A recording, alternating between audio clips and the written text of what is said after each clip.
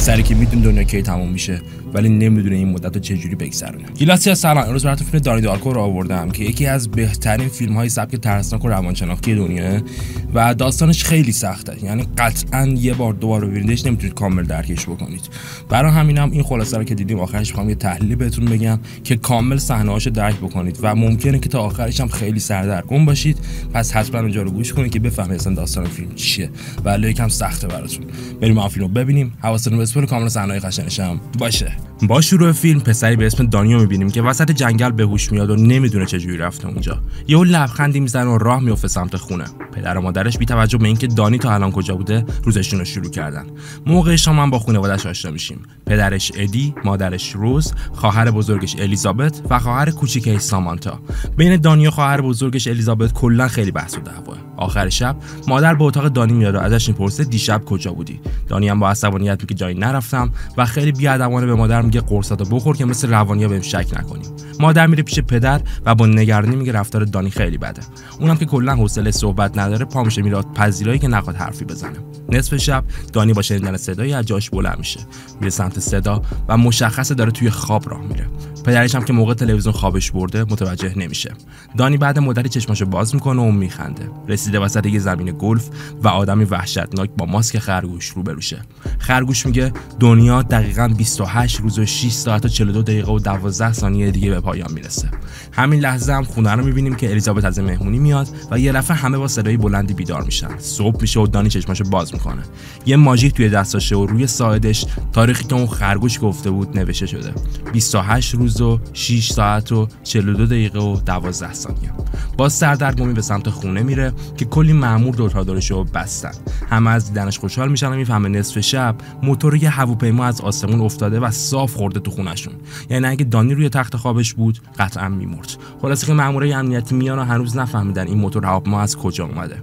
بعدم از خانواده دانی امضا می‌گیرن که شکایتی علیه دولت نکنن و در عوض پول زیادی بگیرن. بعدم خانوادگی میرن به یه هتل که تا درست شدن خونه اونجا بمونن.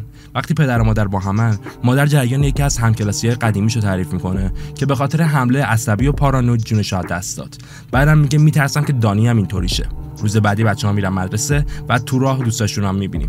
یکیشون دختر توپله که همه بچه ها مسخرش می‌کنن. ولی وقتی دانی از دوستش سیگار می‌گیره و میشنوه که به دختر توپل که میندازن از دختر دفاع می‌کنه و اونم میخنده. کلاس اولی که میره درس زبان و دارن کتابی به اسم نابودگرها رو بررسی می‌کنن معلم از دانی می‌پرسه نظرتو بگو. و اونم شروع به صحبت می‌کنه و میگه نابودی هر چیز نوعی خلق کردنه.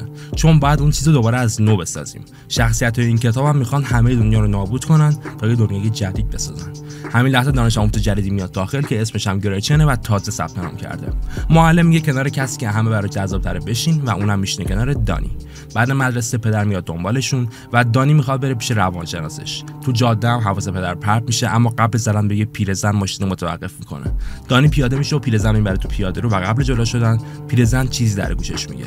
بعدم می‌رسه پیش روانشناس. دانی قضیه خرگوش ترسناک خوابش رو تعریف می‌کنه که اسمش هم گذاشته فرانک. مشخص بارها فرانک تو رویاهاش دیده و تعریف می‌کنه که بهش گفته دنیا قراره تموم شه. میریم به چند روز بعد. سر کلاس فیلمی با موضوع غلبه بر ترس ها پخش میشه و دانی یه دفعه صدای فرانکو میشنوه که میگه به این فیلم توجه کن.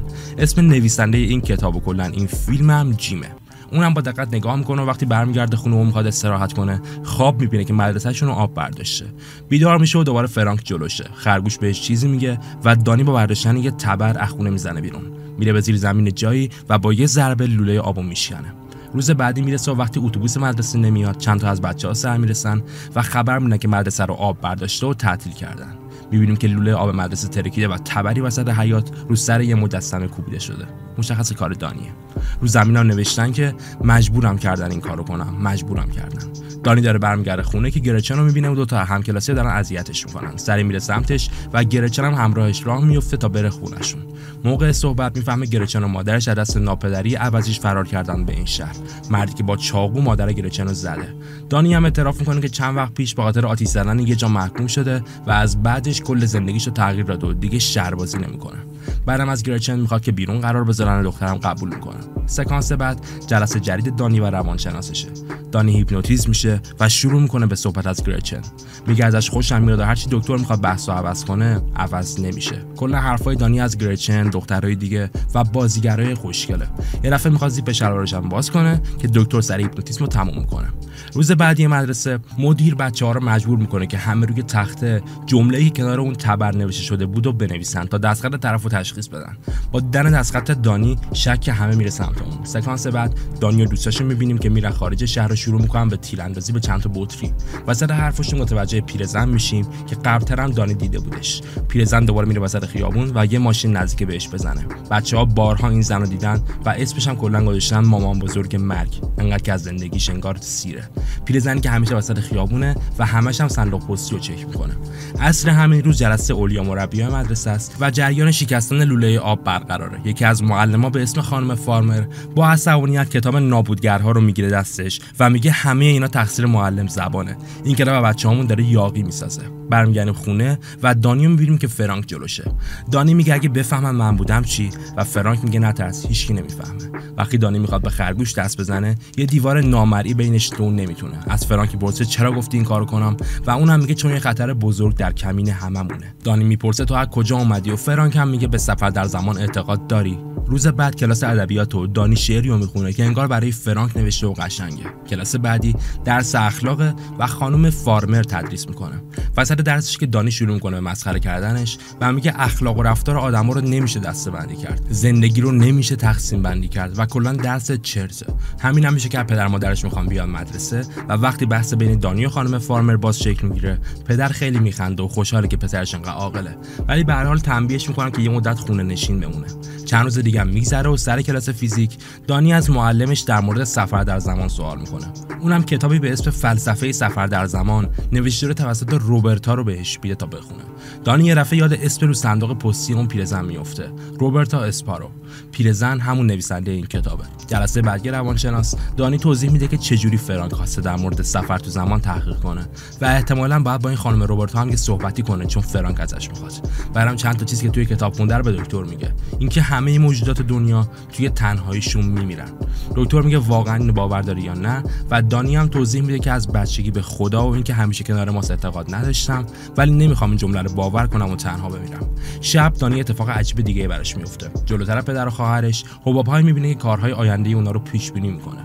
طوری که انگار می‌تونه آینده رو از قبل ببینه. حبابی از خودش هم بیرون میاد و راه میفته دنبالش. میره به اتاق پدر و مادر و اسلحه ای رو از کمدشون پیدا می‌کنه. چند روز دیگه میگذره و وقتی دانی همراه گرچن دارن مدرسه برمیگردن در مورد سفر به گذشته صحبت می‌کنن. یه دفعه دانی خم میشه رو دختر ببوسه اما گرچن میره عقب و میگه دوست دارم اولین بوسمون خیلی خاص باشه از طرفی پدر و مادر دانی هم میرن پیش روانشناسش و اون بهشون میگه دانی از دنیای واقعی میترسه. برای همینم هم همیشه تنهاست و رفتارهای خاص داره یا تو توهم زندگی می‌کنه. وقتی قضیه فرانکو میگه پدر و مادر میترسن چون تا به حال اسمش رو نشنیدن روانشناس هم میگه پسرتون قطعا توهمیه و احتمال زیاد بیماری شیزوفرنی هم داره. شب دانیو می‌بینیم که توی آینه دستشویی دوباره فرانکو می‌بینه. با چاقو به شیشه ضربه می‌زنه که باز مثل دیواری عجیب تکون می‌خوره. چند روز بعد مدرسه سمیناری می‌ذاره و نویسنده کتاب غلبه بر ترسا یا جیم می‌بینیم که دعوت میشه. دانی با ذوق میره تو جلسه اما با شنیدن حرفای این مرد شروع می‌کنه مسخره کردن ایده هاش و راه حلایی که برای غلبه به ترس میده. به دانش آموزای دیگه میگه اگه یکیتون اذیت کرد بزنیدش یا اصلا آتیش بزنید جایی رو. و کلا راه حلای اینطوری میده. تا جایی که پدر و مادر هم میترسن اما دانش آموزا براش دست می‌زنن و مدیر مدرسه دانیو از جلسه بیرون می‌کنه. بعد کلاسا همراه گرچن نشسته و کتاب فلسفه سفر در زمان رو بهش میده و میگه خیلی چیزای عجیبی تو اینه. دانی که حالا مطمئن فرانک وجود داره میره خونه نویسنده این کتاب تا باهاش یه صحبتی کنه. اما هیچ کسی پاسخگو نیست. دانی صندوق پستی زنم نگاه می‌کنه که خالیه و همین لحظه متوجه میشه که پیرزن بهش زور زده. یه صدای فرانک تو گوشش میاد که میگه برای روبرتا اسپارو نامه بنویس. روز بعدم اتفاق دیگه ای تو مدرسه میفته و به خاطر صحبت های موثر خانم فارمر تدریس کتاب نابورگرها ممنوع میشه و از همه دانش آموزان میگیرنش. وقتی دانی می‌خواد بره خونه توی راه یه کیف پول پیدا می‌کنه که متعلق به جیم یا نویسنده کتاب غلبه بر طرحهاست و با خودش میبرتش. روز بعدی هم تو مدرسه بچه های کلاس شروع می‌کنن مسخره کردن گرچن و ناپدریش. اونم با گریه میره بیرون و وقتی دانی میره دنبالش یه دفعه همون میبوسن. شب دوتایی میرن سینما و وسط فیلم گرچن خوابش می‌بره. دانی هم توهم می‌زنه که فرانک باز پیششه با برداشتن ماسکش برای اولین بار چهرهش نشون میده. مردی که یکی از چشماش به شدت آسیب دیده. شروع به صحبت می‌کنن و رو پرده سینما هم چیزهای عجیبی مثل تصویر آتیش شکل می‌گیره. این در حالیه که توی مدرسه مسابقه ایه که خواهر کوچیک دانی هم توش میرخصه اون نویسنده کتاب یا جیم هم به عنوان داور مسابقه است و با لذت بچه ها رو نگاه می‌کنه. دانی یواشکی از سالن بیرون میاد و میره به آدرسی که از کیف پول نویسنده پیدا کرده. یعنی خونه جیم. کلی بنزین پیدا می‌کنه و با ریختنشون رو وسایل خونه رو آتیش می‌زنه. بعدم سری برمیگرده سینما و قبل بیدار شدن گرچن می‌رسه. روز بعدی دانی میره پیش پدرش و بهش میگه حس می‌کنم دارم دیوونه میشم. میگه میترسم بعضی فکرامو به زبون بیارم. و پدرش میگه هیچ وقت گفتن حرفایی تو سرت نترس. همین لحظه اخبار رو می‌بینیم که در مورد آتش سوزی خونه جیمه. آتیش نشانات تو این خونه وسایلی پیدا کردن که نشون میده این مرد بچه. بازه و واسه همینم میفته زندان. تنها 6 روز پایان دنیا مونده و توی مدرسه معلم زبانم به خاطر تدریس اون کتاب نابودگرها یه لفه اخراج میشه. خواهر کوچیکه دانی و تیم رقصشون هم قرار برای مسابقه برن کالیفرنیا. اما خبر دستگیری جیم و بچه باز بودنش رو می‌فهمن و همه نگرانن که نکنه این مرد با دانش آموزای خودشون هم کاری کرده باشه. میریم با آخرین کلاس اون معلم زبان که فیلم می‌ذاره و برای بچه ها توضیح میده که چرا زندگی آدما و خرگوشای این داستان شبیه همه. اما دانی مخالف و میگه خرگوشا مثل آدما احساسات پیچیده ندارن. برای همین مثلا شبیه نیستن. گرچن باهاش مخالفت می‌کنه و میگه این خرگوش ساخته ذهن نویسنده است. برای همینم احساسات نویسنده و همه آدما رو داره. پس شبیه ماست. میریم به خونه دانی اینا و معلم مذهبی مدرسه یا همون خانم فارمر میاد پیش مادر دانی. ازش می‌خواد که تیم رقص مدرسه رو ببره کالیفرنیا چون خودش نمی‌تونه و قصد داره تو دادگاه اون نویسنده شرکت کنه. خانم فارمر مطمئن این تهمت اشتباهن و اون مرد کاملا بیگناهه. مادرم به دانه میگه که می‌خواد خواهر رو ببره کالیفرنیا. پدرش هم که رفته سفر و در نتیجه این مدت دانی و خواهر بزرگش الیزابت تنها میمونن. بعدم متوجه نقاش ترسناک دانی میشه و یکم به هم میریزه. دانی می‌فهمه و می‌پرسه اینکه یه پسر عجیب مثل من داشته باشی حس بدیه. مادرم لبخند می‌زنه و میگه من همیشه بهت افتخار می‌کنم و عجیب نیستی. روز بعدی هم مادر و خواهر کوچیک راه میفتن و دانی هم میره مدرسه. معلم زبانشون رو موقع رفتن می‌بینه و بهش یه سری جمله در مورد قشنگی دنیا می‌زنه. دانی هم میره پیش همون دختر توپلی که همه مسخرهش می‌کردن و بهش میگه همه چیز درست میشه و نگران هیچی نباش. دختر که از این رفتار میترسه سریع از اونجا فرار می‌کنه. دفترش هم و دانی می‌فهمه که اسم خودش روش نوشته شده و مشخص این دختر مدت هاست به دانی علاقه داره. برای همونم هم هول کرده. بعد میره پیش روانشناسش و دوباره دکتر هیپنوتیزمش می‌کنه تا بیشتر این پسر رو بشناسه. ازش در مورد پدر و مادرش سوال می‌کنه و دانی میگه پدر و مادرم خوبن اما یه بار یه کادوی کریسمس می‌خواستن و برام چیز دیگه گرفتن. اون لحظه حس ناراحتی و پشیمونی از زندگی بهم دست داد. دکتر با نگرانی می‌پرسه دیگه چه اتفاقی افتاده که ازشون پشیمون شده باشی؟ و دانی با لبخندی همه جرمهایی که تا حالا کرده رو جمله سوزوندن خونه جیم بهش میگه. برای توجیه کارشم میگه مجبور بودم به حرفای فرانک گوش کنم چون زندگیمو نجات رو نمی‌خواستم دوباره تنها شم همینجا می‌زنه زیر گریه و دوباره در مورد پایان دنیا حرف می‌زنه. همینطوری وسط هیپنوتیزم بلند میشه و یه عروسک بغل می‌کنه. یه دفعه چشماشو باز می‌کنه و با دیدن فرانک روبروش فریاد می‌کشه. دکتر سعی می‌کنه آرومش کنه میگه دنیا چطوری تموم میشه. دانی هم میگه آسمون باز میشه و همتون میمیرید. دکتر میگه اون موقع یعنی فقط تو و فرانک تو دنیا میمونید دانی هم که انگار تازه متوجه این قضیه شده دکتر رو بغل می‌کنه و اونم پسر هیپنوتیزم در میاره. موقع رفتن دانی بهش میگه من یه بار تشخیص دادم تو شیزوفرنی داری و بهت دارو دادم. اما دیگه اون داروها رو نخور چون اشتباهن. بعدم در مورد حرف دانی که باز از خدا حرف می‌زنه بهش میگه تو دنیا یه گروه آتئیستن که کلا به دین و خدا اعتقاد ندارن. یه گروه اگنوستیکن که دین و باور ندارن ولی می‌دونن یه قدرتی به اسم خدا هست. تو هم یه اگنوستیکی پس هیچ سعی نکن خدا رو بر خودت انکار کنی و فکر کنی تنهایی. می‌رسیم به روز آخر دنیا. خواهر دانی بهش میگه که دانشگاه قبول شده و خوشحاله. برای همینم می‌خوان دوتایی مهمونی بگیرن. شب بچه های مدرسه یکی یکی میان از جمله گرچن که نگران مادرشه. بدانی میگه ما قرار بود برگردیم شهر خودمون اما من به خاطر تو مامانم راضی کردم بمونیم. حالا مامانم از دیرو گم شده و نمی‌دونم کجاست. دو تایی میرن تو اتاق و میگه که مطمئنم ناپدریم یه کاری باش کرده. بعد برای بهتر شدن حالش دانیو میبوسه و همین کارش تبدیل میشه به اولین رابطه جنسیشون. وقتی میان بیرون یه دفعه حال دانی به هم میریزه و دوباره حبابی رو می‌بینه که از سینش بیرون میاد. میره دنبالش و روی یخچال یه کاغذ چسبیده که نوشته فرانک رفت آبجو بخره دانی سری گرچن دو تا دوستاشو برمیداره و میرن به خونه روبرتا همون پیرزن عجیب. اما کسی اونجا نیست و یه دو تا قلدرای مدرسه بهشون حمله می‌کنن و می‌خوان ازشون اخاذی کنن. یکیشون هم گرچن رو گرفته و یه دفعه ماشینی پیدا میشه.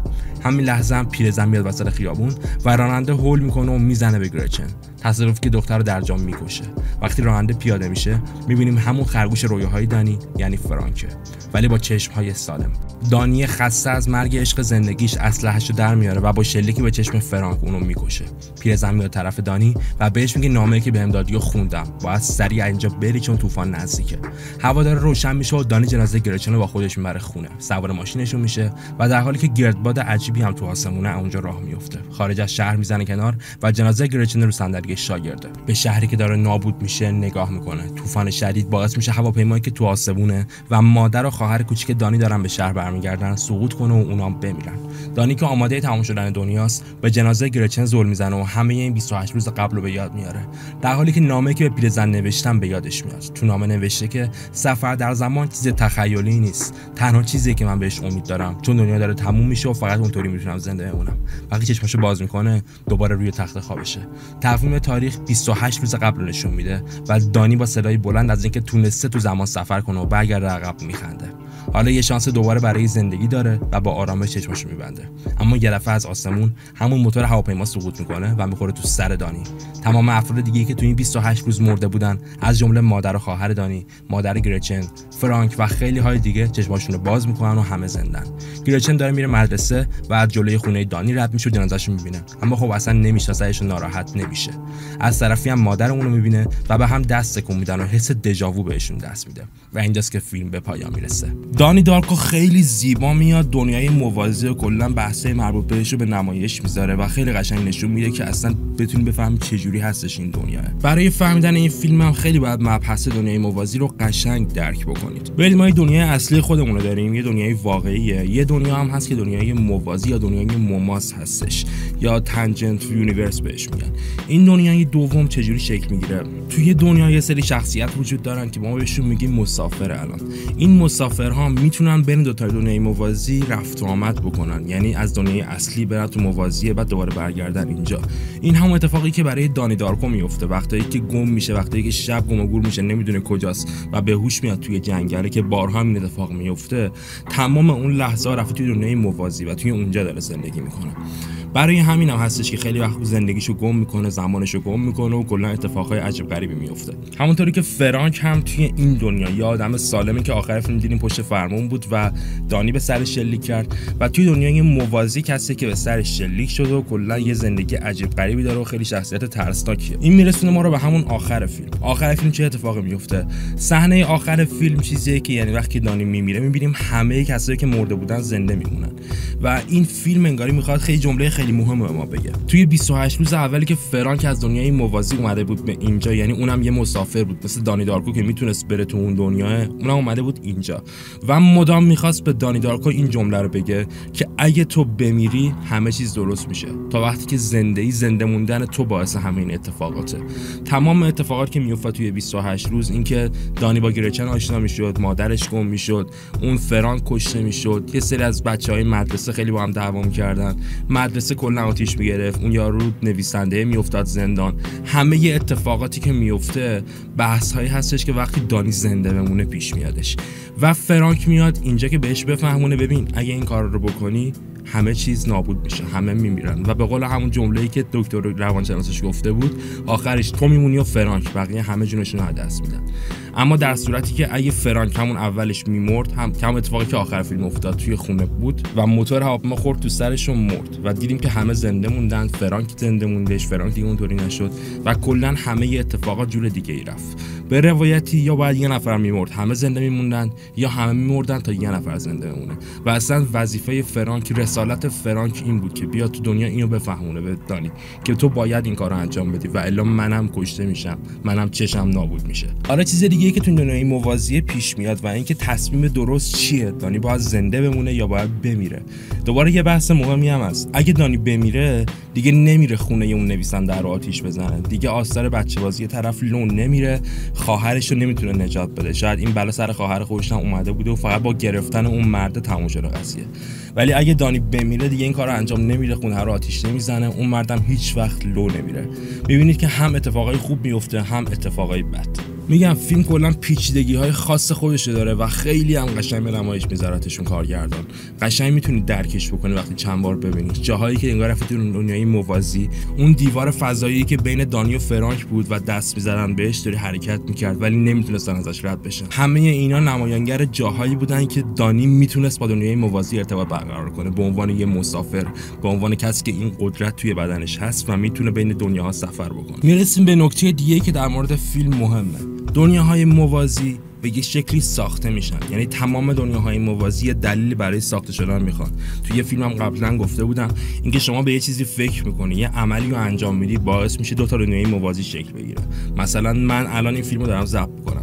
ولی قبل ضبطش تو ذهنم اومدش که اگه الان این فیلم رو ضبط نکنم می‌تونم برم بازی کنم. این یه دنیای موازی شکل میده یه دنیا الان دارم بازی می‌کنم میده دارم فیلم ضبط می‌کنم. یه خورده پیچیده درش می‌کنیم. میرم توی یه خیابون یه لحظه یه ماشین می‌خواد بزنه بهم ترمز می‌کنم رد می‌کنم تصادفو ولی تو ذهنم میگم وای اگه می‌زد بهم پام قطع می‌شد. یه دنیای موازی شکل می‌گیره که من توش پام قطع شده و تا آخر پیش میرم. یه دنیا هم که همین الانه. همینطوری هی شاخه شاخه میشه. دو تا چهار تا هشت تا 16 تا. هی اضافه میشن دنیا همون و برای همین هم هستش که وقتی شما فکرهای زیادی تو ذهنت بیاد راه زندگی تو هی تغییر بدی. کلا اینجور کارا رو زیاد انجام بدی دنیاهای موازی زیادی ساخته میشن و انرژی زیادی از تو توی هر کدومش تقسیم میشه. برای همینه که وقتی اینطوری زندگی بکنی از یه جایی خسته میشی و می‌بری و دیگه هیچ امیدی نداری راهتو پیدا نمی‌کنی. گفتم که خلاصه این روش ساخت دنیاهای موازیه. و حالا توی این فیلم من باید یه لحظه باشه که لحظه شکلگیری اون دنیای موازی باشه یه سری ها میگن موتور هواپیما آغاز کننده دنیای موازیه. یعنی کلا بحث اینه که موتور هواپیما می‌خوره به خونه یا نمی‌خوره. ولی نظریه بهتری که به نظرم درست دارم هست. دنیای موازی بر مبنای مرگ یا زندگی دانی داره ساخته میشه. اگه دانی زنده بمونه این دنیا اینطوری پیش میره که تو 28 روز اول دیدیم. اگر بمیره همونیه که دیدیم آخر فیلم همه زنده موندن و کلا دنیا عوض شد. یعنی اصلا اصل و آغاز این دنیای موازی مبحث زنده موندن یا مرگ دانیه و فقط اونه که باعث میشه که اصلا شکل بگیره یا نگیره. این هم خلاصه خواستم براتون شفاف چون خیلی نمی‌تونن درست درکش بکنن. دیگه همین ولی دانی دارکو خیلی معنا و مفهومای مختلفی داره و پر از معنای کلا توی بطن فیلم که بری. من وقت نمیشه کلشو بگم. فقط خواستم یه بحث کلی رو بهتون بگم که بتونید فیلمو درست ببینید. با این دیدگاه یه بار فیلم خودتون تماشا بکنید و عشق می‌کنید باش انقدر که خفن و پر از نکته ساخته شده. دیگه همین. لایک کامنت ساب یادتون نره. توی کانال زاپاس جوین بشید. روزتون دارم. روزتونم. گلسی.